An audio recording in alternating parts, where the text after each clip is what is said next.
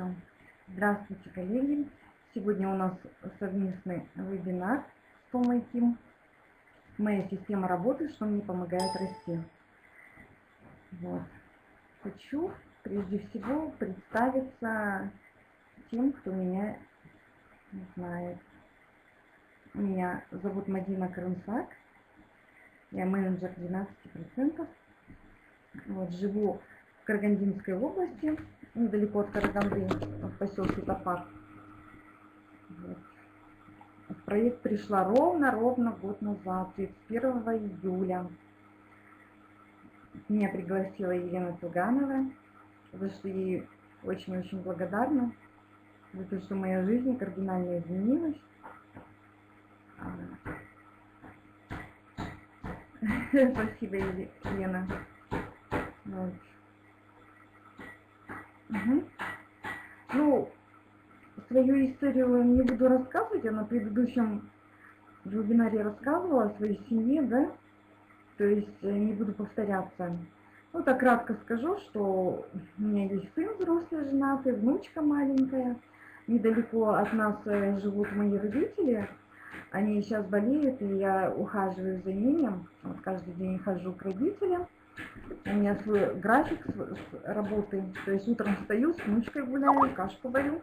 Потом оставляю внучку родителям, ну, в смысле, потом иду к родителям, к своим. Там тоже завтрак готовлю, э, тоже компьютер включаю, у них чуть-чуть поработаю, где там возможно, потому что у них не вся информация на компьютере. Потом бегу опять домой и начинаю работать. И так проходит мой день между двумя домами, туда-сюда бегаю. Но время для работы всегда найду. Так, это кратко так о моей семье, о моей такой жизни небольшой. Теперь непосредственно по теме, да, что мне помогает расти. Прежде всего, когда я рекрутирую, когда я приглашаю в бизнес людей, я не приглашаю работать мало. Я не приглашаю на 2-3 часа, как раньше вот в Одноклассниках писали, да, статус, статусы, картинки, занятость 2-3 часа в день. Нет, я сразу пишу полный рабочий день или занятость там 5-6 часов. Потому что я приглашаю на работу, потому что я приглашаю зарабатывать. И сразу пишу, что я приглашаю зарабатывать от 1000 долларов и выше, чтобы смотивировать. Допустим, если бы мне когда-то сказали там, от 4 долларов, да, от 700 долларов, ну что я пойду и буду ждать эти полгода, когда я заработаю, да? То есть я сразу приглашаю 1000 долларов и выше. Может быть, поэтому у меня не так высокие регистрации, но зато они у меня очень качественные, я считаю. Так, что мне еще помогает расти? Мне помогает расти поддержка вышестоящих лидеров, конечно, в первую очередь. Также помогает расти совместная работа команды. Вместе мы сила. Хочу, вот, кто мне помогает расти, это команда, да? Вот это мы на мегафоруме в Астане. Первый раз встретилась я со своими бизнес-партнерами, чему очень рада, потому что это была такая мотивация мощная, прям здорово. Я не просто их в чате, да, вот по переписке, не просто на фотографиях увидела, а вживую, вживую увидела лидеров. Это такие девочки молоденькие, да, они мне в дочки все годятся. И они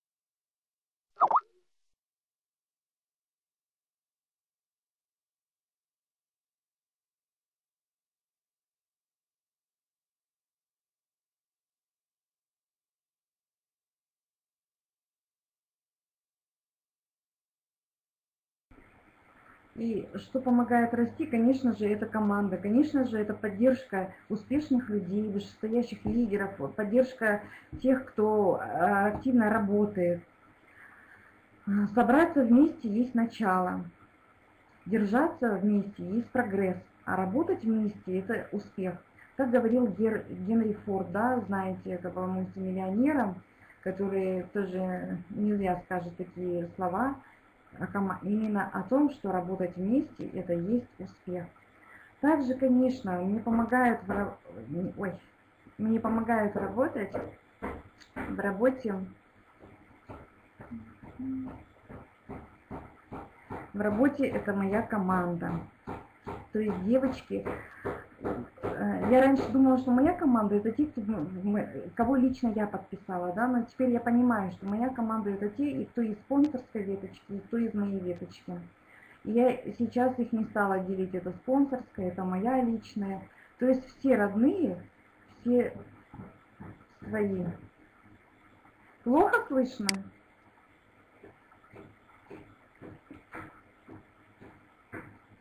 Так, Лена хорошо слышит. Нормально. Не очень, да? Так, ну, то мне не разделились, но я вот прям... Угу. А я, ну, я вот прям всю на громкость поставила, уже даже некуда. Ну, одевайте наушники тогда. Моя команда. Хочу отметить. Так, ну вот, сколько нам Лена говорила, слайдики проверяйте. У меня съехали немножечко э, фамилии не вижу. Ну, ладно, я всех знаю по памяти. В первую очередь хочу, конечно, поблагодарить это за э, командную работу Лилю Хохлову. Она такая умничка, молодец, старается. Также Фатиму Сарыбаеву. Ну, это мой новичок, мой первый такой качественный новичок. Она молодец, она уже в горе недавно. Она делает 100, 150 баллов и выше. Это был Газина Лизат, умница, вот у нее на ручках маленький ребеночек, вот у нее трое деток, э, но она прям старается. Это Шелочко Ирина, э, это Шелочко Ирина, которая пришла в наш проект именно на Wellness и делает тоже баллы большие с первых же дней. Сегодня она написала, что сделала заказы на 187 баллов или 178 баллов. Ну, вообще умничка. Это Кашалбай Мирамгуль, это Рыскужаева Балмур, вот девушка в, красном платье, это Балмур, и 16 лет. И она потихонечку-потихонечку включается в работу, она проходит стартовую программу. Это Цыганкова Татьяна. Она тоже в премьер-клубе, умничка, хорошо работает. Мне, мне о ней рассказала Хохловая Лилечка наша, и также э, Пупляева, ой, не видно мне, Виктория, Виктория вспомнила, Виктория тоже активно работает. То есть э, вся команда, когда работает сплоченно, когда я, да, как спонсор, ищу поддержки у верхних вышестоящих спонсоров, и когда оказываю поддержку своим девочкам, тогда растет команда, тогда растут уровни. То есть мы все друг за дружку идем.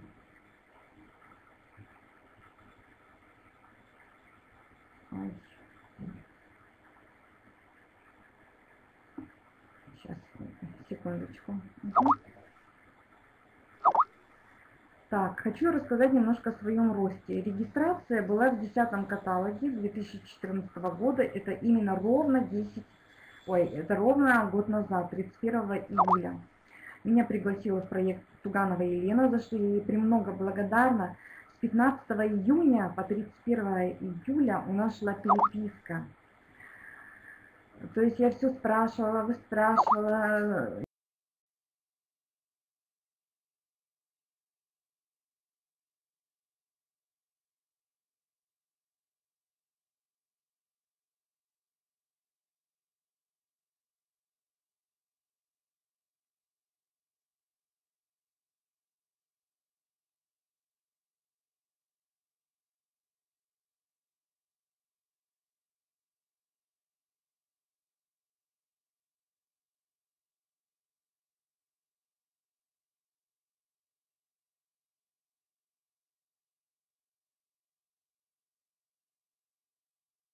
там не так. И уже с компьютером я с ним так активно работаю уже в течение года, что он у меня именно сегодня в мой юбилей начал зависать. таким вот образом протестует против эксплуатации активной. Слышно, да, меня, девочки? А то Света поставила плюсики. Слышно меня? Ага, спасибо, Алексеюша. Вот, это вот мой э, рост. Евгения, вам не слышно, вы пос... оденьте наушнички, потому что я уже смотрю по ленте, что вам постоянно не слышно. Вот. Я росла не быстро, не так быстро, как, допустим, многие да, из, из нашего проекта, но медленно, можно так сказать, медленно, но качественно. То есть э, в 10 я пришла, в 13 каталоге уже вышла на 3%, к чему, чему была очень безмерно счастлива, меня еще поздравляла, Елена в поздравлялке, это было так здорово. В 14 каталоге я вышла на 6%, потом опять упала, когда упала, думала, вот что-то я делаю не так, и начала активно рекрутировать. Э, и уже в 16-17 каталогах э, на Новый год да, вышла на 6%. А с 1 по 7 уже 2015 э, года я вышла на 9% и в 8 каталоге на 12%. Вот, когда вышла на 12%, это было вот таким мощным всплеском, вот, э, мощным таким всплеском мотивационным. Я уже чувствую, что вот, вот, вот, вот скоро я уже начну расти так, как э, мечтала, да. Поэтому даже у кого-то сейчас не получается в данный момент расти быстро, потому что некоторые видят историю успеха тех людей, которые растут там за 4, за 5 каталогов быстро, да, за, за полгода становятся директорами. Хочу сказать, не бойтесь расти медленно, не бойтесь оставаться неизменными. Это очень мудрая китайская пословица. Потому что некоторые, у некоторых руки опускаются, у некоторых э, уже терпения не хватает, некоторые начинают сомневаться в проекте, что кто-то быстро растет, кто-то не быстро, кому-то спонсор помогает, кому-то не помогает. А на самом деле никогда не надейтесь на спонсора, надеяться надо только на себя. Спонсор не обязан вам, допустим, быть вашей нянькой. Он вам дал все инструменты, он научил. Вы просто дублицируете, ходите на э, вебинары, обучайтесь и делайте. Я э, начала пример брать э, с самого начала именно с Лены Тугановой, потому что она вообще девушка, которая осталась без спонсора, она не испугалась, она росла. И вот видите, какой у нее результат, да? Хороший, отличный результат. Что мне еще помогает расти? Мне помогает расти три кита проекта. Это мы, когда меняем э, это покупки продуктов в обыч, с обычного магазина на свой личный бутик. Это приглашать свою команду людей, которые будут дублицировать вас. И это, конечно, обучаться, обучаться, еще раз обучаться. Учение свет, а не учение чуть свет и на работу, да, как говорится. Также, э, что мне помогает расти, это человеческий фактор, верность своему слову. То есть, когда я рекрутирую, я всегда говорю своим новичкам, я вам буду помогать. И обязательно помогаю на первых порах. То есть нахожусь, э, даю все свои данные, телефон, скайп, э, а, чтобы они звонили в любое время. Даже если я там гуляю э, со своей внучечкой, когда хожу, хожу родителям, мне звонят девочки, я отвечаю всегда. Для этого надо быть находиться постоянно в информационном поле, чтобы быстро что-то нужно было ответить.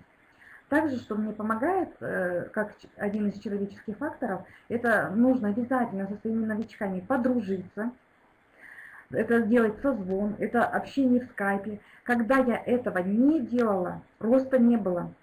Вот как начала применять это, сразу пошел рост. Также помогает выявление ключевых партнеров. То есть вы видите, что если кандидат, не кандидат, а уже партнер, новичок, э, идет на контакт, вы его мотивируете, вы его поддерживаете, вы его поздравляете в поздравлялках, да, там в чатах поздравляете с уровнями, с первым заказом, с днем рождения. То есть отмечаете вы, и тогда он э, как бы становится вам родным, близким, что ли, вот да. И, конечно, у вас будет такая работа сплоченная. И также делаю фокус на лидерство партнеров. То есть я не, я стараюсь быть сама лидером, и делаю фокусировку на том, чтобы лидером становились мои девочки. То есть, эм, да, Евгения, будет запись, будет, будет.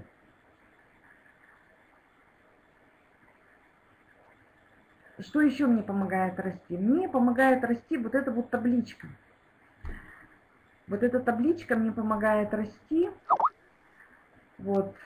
И я ее рассылаю всем своим новичкам. То есть первый шаг. Я не буду этого делать. Мы все приходим такие с энтузиазмом, когда что-то не получается.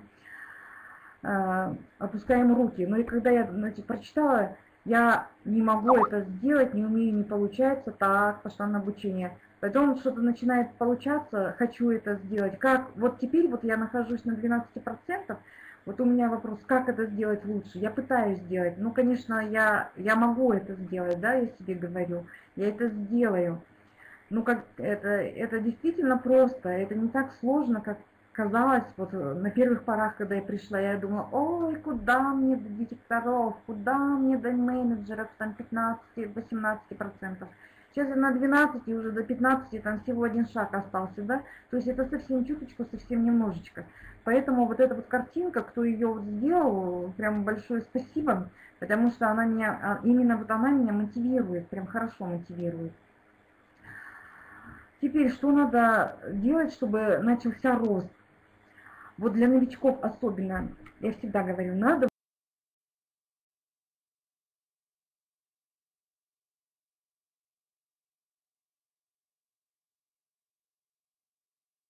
фильмы про успех. Потом обязательно надо думать как лидер. Если вы не будете думать как лидер, то эту энергию не почувствуют ваши новички. Обязательно находиться и присутствовать в информационном поле. То есть, когда вас спрашивают о чем-то, и вы не будете отвечать э, вовремя, да, не будете отвечать грамотно и правильно, новички тоже могут разочароваться в вас. Ой, девочки, я зашла, разговариваю, я не спросила, меня сейчас слышно?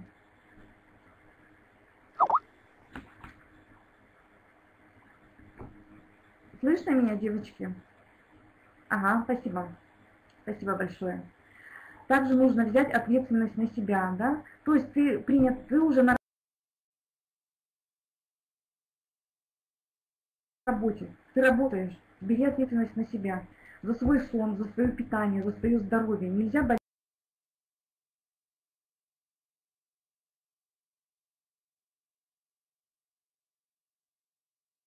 нельзя не высыпаться, нельзя быть в плохом настроении. То есть надо постоянно быть в хорошем настроении. Это спонсору, партнерам, своим родным. Спонсору за то, что он поддерживает, партнерам за то, что они помогают тебе расти, своим родным за их терпение, да, за то, что ты сидишь целыми днями в интернете, уделяешь им мало времени, да, по тем меркам, что они привыкли, что им столько времени уделяют, да, вот, им надо быть благодарным за их терпение. Потом это все возвратится. Наша благодарность – это как один из эм, посылов в космос. То есть, когда ты благодаришь, это тебе тоже возвращается. Надо обязательно благодарить тех, кто рядом, кто тебя окружает, кто помогает тебе расти. Также помогает э, мне в росте дублицирование спонсора. То есть не просто повторять, да, что там делает спонсор, а именно брать лучшие такие инновационные методы, лучшие способы рекрутирования. То есть все тем, чем делится с вами спонсор но при этом проявлять инициативу собственную, придумать какие-то свои фишки в работе, использовать новые методы в работе.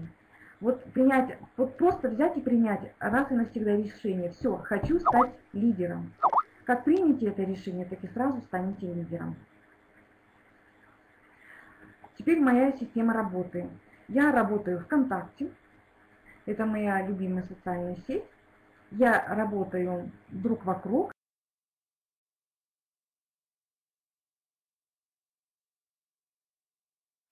Я работаю в WhatsApp. Вот на картиночке это э, сети, в которых я работаю. У вас очень много новых э, способов, да, рекру рекрутирования, доски, OLX, но я пока э, еще никак, не то что не решусь, не освою это. Вернее, я пытаюсь, хочу освоить это в плане у меня. Вот, моя система работы в соцсетях. Допустим, я работаю ВКонтакте, да, и сразу, если соцсети, я не хожу на другие вебинары, я хожу на вебинаре по теме, я работаю ВКонтакте друг вокруг. И, конечно же, о новых методах работы я тоже хожу. А вот а, работа в Одноклассниках, работа в мире, я такие ну, посещаю. ВКонтакте, например, когда я работаю,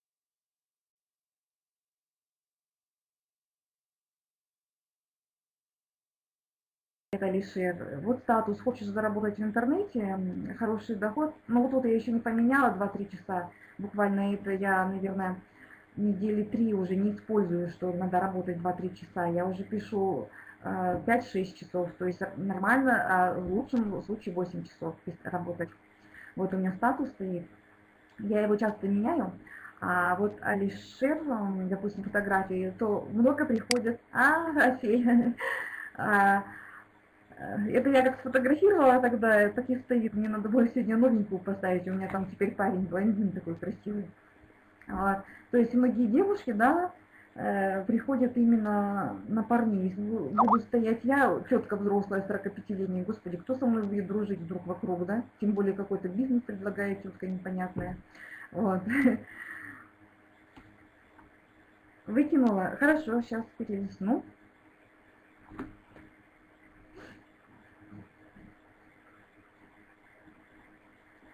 Сейчас, секундочку. Ага.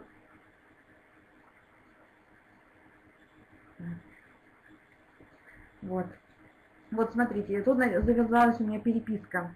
Привет, э, что за работа? Я пишу, привет, хорошо. Пиши электронку, выше подробности. Электронки нету, а так нельзя скинуть. А так нельзя скинуть. Я пишу, можно на WhatsApp? Давай, и пишут мне свой WhatsApp. Я пишу ок и отправляю информацию уже в WhatsApp. В WhatsApp у меня уже все, все ссылочки, все, все готовые тексты готовые. Я их только пересылаю раз быстренько, и очень-очень удобно работать. А потом оказывается, что у многих есть электроночка, и а, мы начинаем связываться, списываться именно по электронке. Так, сейчас Тома каким мне пишет. Ой, у Тома Ким, которая следующая за мной выступает, свет отключили. Ну, ладно, пока я буду выступать. Может быть, сейчас им подключат свет. Вот, видите, какая удобная вещь WhatsApp, да? Тома Ким мне раз сообщила мне, что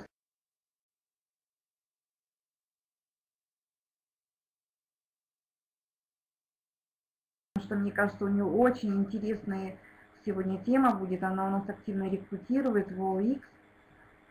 Я бы ее с удовольствием послушала бы, я прям э, ждала, когда она придет. Я пока работаю вот такими, да, можно так сказать, уже устаревшими методами, потому что сейчас столько много, очень-очень много способов, очень много информации. Вот. Так, сейчас перелистну дальше. Вот такие вот письма рассылаю я ВКонтакте. То есть я не пишу текстами, я пишу вот картинками, потому что я заметила, что на картинку хорошо идут люди. Вот э, просто так я сделала таких несколько картинок, на самом деле у меня очень их много. Вот также я ВКонтакте захожу на группы, где вот, допустим, люди с ограниченными возможностями, да. Вот у меня на первой картинке девушка в кресле сидит. То есть, э, как бы они заинтересовываются много, но пока многие не решаются. Но я их понимаю, потому что на самом деле очень тяжело, психологически переключиться на что-то другое. Все-таки они немножечко ограничены в общении и, и не имеют такого опыта, допустим, да, э, работать вот. Также картинками вирусными рекрутирую. Вот э, нижняя голубая, где Роберт Киосаки стоит. Мне нравится рекрутировать именно картиночками. Так, что-то у меня тут все-все-все мои, мои, мои слайдики напутались. Вот сегодня у нас какие преграды. Ой, где мои слайдики? Ай-яй-яй. У меня с утра отключался компьютер несколько раз, еле загрузила презентацию.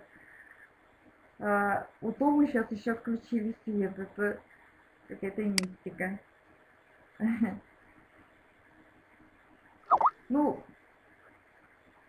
не могу понять, почему я в проекте. Почему я в проекте? Потому что у меня есть большая мечта. Мне Тома позвонит, когда свет будет, а пока я буду говорить. Сейчас я ей сообщу. Тома, А, Я, в принципе, почти закончила, у меня почему-то слайдики послетали, но, в принципе, я буду говорить. Как свет дадут, ты сразу сообщи мне, и мы подключимся, возможно. Вот, у меня большая мечта, это иметь собственный дом, машину, да, деньги. Деньги мне нужны э, для того, чтобы путешествовать, для того, чтобы обеспечить свою старость, да, свою достойную старость. А, И вот тут вот у меня на моем слайдике все в твоих руках, действительно все в моих руках. Ну, я не хотела свою историю рассказывать, но пока Тома подключается, наверное, расскажу немножечко свою историю. Все, что сейчас на картинке вы видите, это у меня было. Это у меня было. У меня был бизнес, я занималась им 12 лет. У меня было две машины, да, то есть не у меня, у нас с мужем. У нас были деньги, у нас было много друзей, у нас было много родственников. То есть, э, но единственное, мы не путешествовали, мы много работали. Мы те бизнесмены, которые в 90-х годах действительно зарабатывали, которые пахали. Первый раз, и у меня были взлеты и падения. Первый раз было падение. А а меня слышно вообще, а то я, может, просто говорю. Слышно меня, да? Или я опять вылетела? Ага, все, спасибо, Альфюша. Спасибо, девочки. А, вообще не хотела говорить на эту тему, но буду рассказывать пока Томочку. Я прям Томочку-то хочу дождаться. Она еще пишет э, с таким разочарованием. Она так готовилась к этому вебинару, поэтому подождем ее. Вот, у меня были взлеты и падения. Я сегодня мне э, Ирина Шарпила скинула несколько э, вебинаров, записи вебинаров на эту тему. И я послушала Наталью Качну, которая э, тоже да, занималась очень крупным бизнесом. Конечно, ее бизнес был крупнее моего там в разы. А как она упала, как они, как они в кредитах да, были. Вот. э, То же самое произошло у меня, у меня тоже было несколько взлетов и падений. Первое падение было, когда в 90-х годах было настоящий рейдерский захват. Сейчас я вспоминаю об этом с улыбкой, а тогда, конечно, это было страшно, это была угроза жизни, это была угроза жизни нас с мужем, это была угроза жизни нашего ребенка. Мы отдали все и, и начали все заново с нуля. Мы э, с нуля э, начинали. И опять-опять раскрутились, раскрутились до магазина, да. А, У нас купили прекрасно себе дом, потому что в том городе, где мы жили, город развалился, шахтерский был город.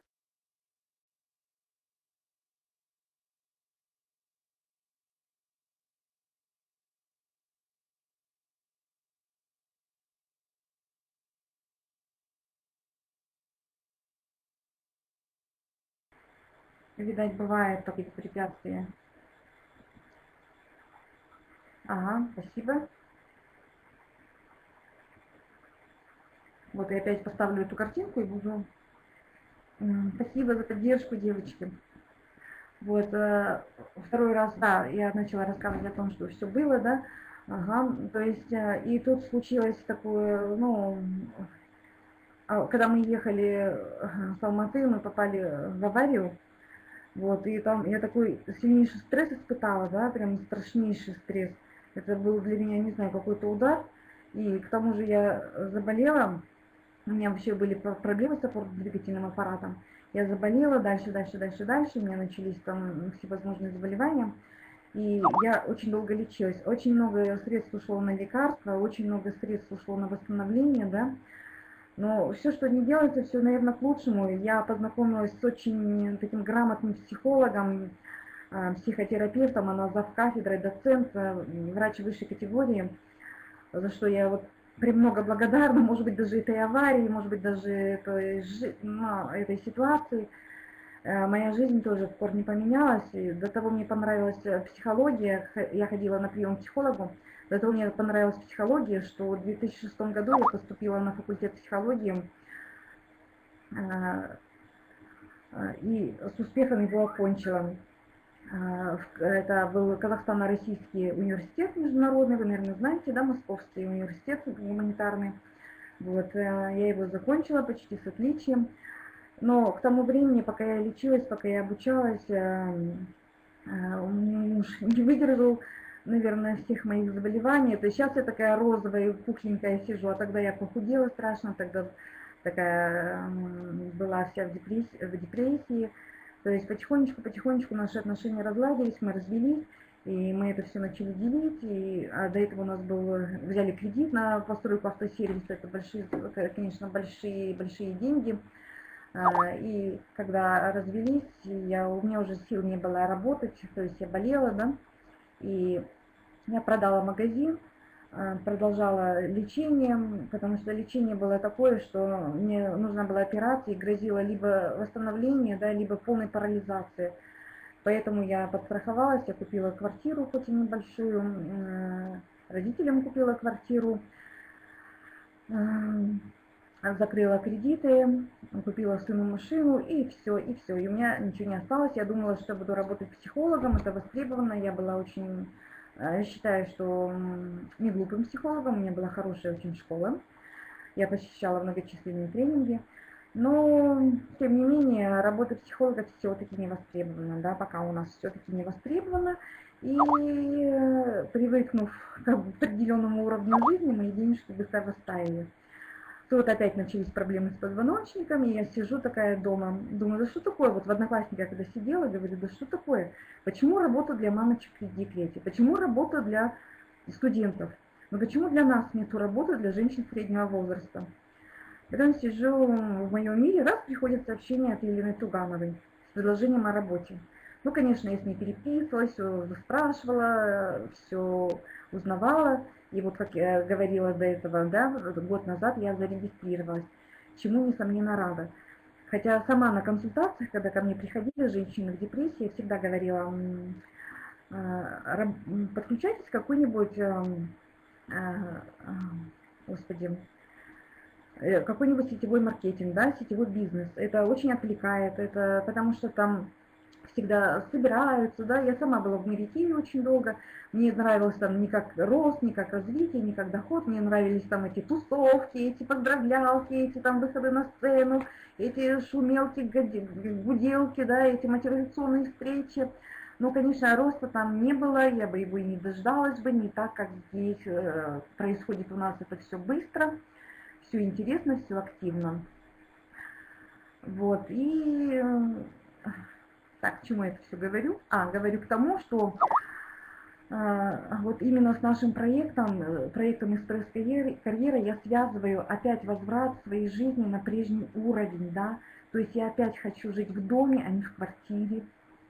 Я хочу ездить, э, не так ждать, когда сын подвезет меня, да, то есть сейчас сын очень занят, он работает в городе Екибастузе, поэтому он приезжает на выходные только. Я не хочу вызывать такси, не хочу ездить на автобусе, я хочу собственную машину. После той аварии, конечно, я боюсь ездить на машине, но когда я увидела, как она черно получила машину, я прям загорелась, я прям почувствовала, что, что сажусь опять за руль машины,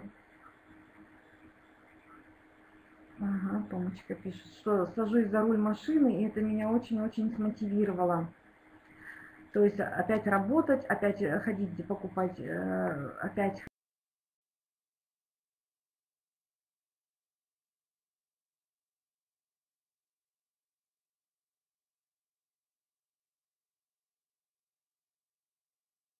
достижений своих целей.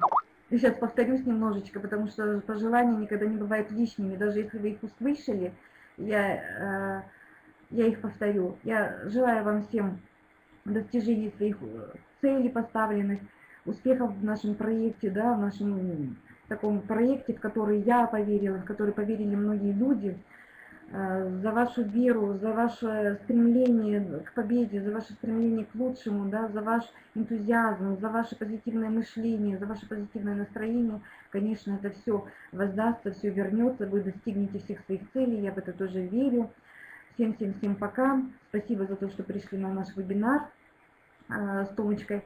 Вот я вылетаю постоянно, а Томочка не зашла. Но я прям хочу Тому послушать и надеюсь, что в ближайшие дни мы ее послушаем. Спасибо всем, что пришли. Спасибо, мои родные. Э, Всем за поддержку, за то, что вы стали мне давно родными.